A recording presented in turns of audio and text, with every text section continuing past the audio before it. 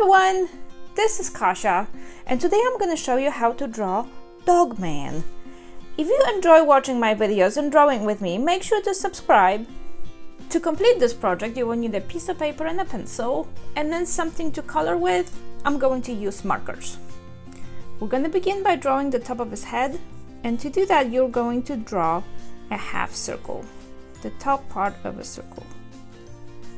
We are using pencils, that way we can erase our mistakes, correct them, and get where we want to be. Now to the right of your circle, you're going to go draw a straight line. And it's going to be about a three quarter, so about this much of this circle size. At the end of this line, you're going to draw a small circle, and that's the ball tip of his nose. Block out a piece for the light speckle and now we will connect this side with the bottom of the nose with a U-like shape. So you're gonna go down, turn, draw a straight line at the bottom and come back here.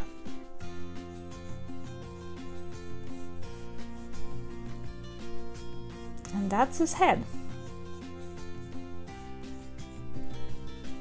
Now we're gonna start here. We're gonna follow the line the outside of his head and we're going to draw his mouth. On his nose here we're going to draw three dots and now we're going to draw his eyes and his eyes are lines that are a little wider at the top and narrower at the bottom and this one is smaller than the other one. Now um, here at the bottom he's got five hair so one, two, three, four, five lines. And now we're gonna draw his head. At the top of his head, you're gonna go up and draw a rectangular-like shape.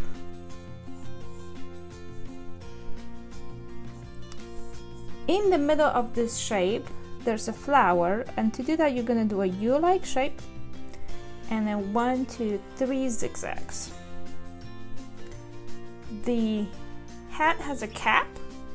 So you're gonna extend the line here to the side.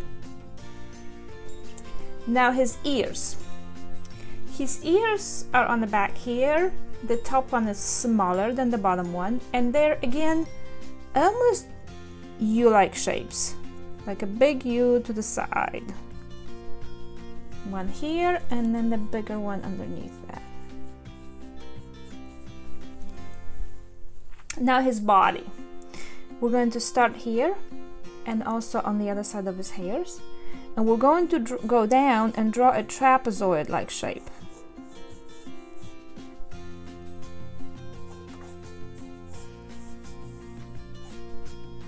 In the middle of this, he also has the same flower. So U-like shape. And now you can do the three zigzags or if you want them perfect, mark the middle and then do one V and another V. Now he's got his hand here on the side. To do his hand, we're gonna go one, two, three fingers like this. So three C's almost connected. This line will later get erased because it's covered now by the hand.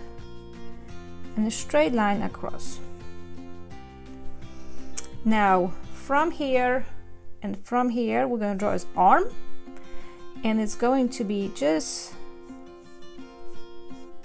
like this here.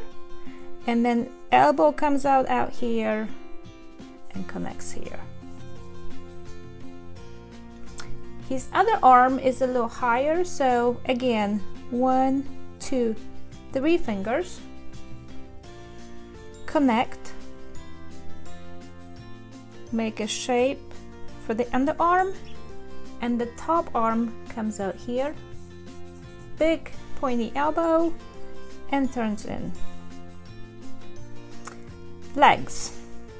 Legs go down here so you're just gonna go one two three four lines for the legs.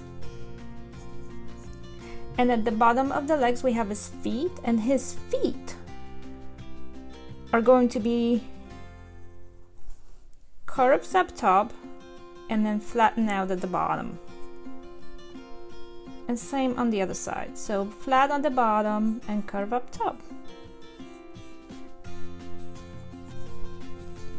And he is standing on a post. So if you want to draw the post, you're gonna draw a line here. Come out a little to the front on each side and now connect it like this and go one, two, three. Okay, so my drawing is done. I'm gonna color it.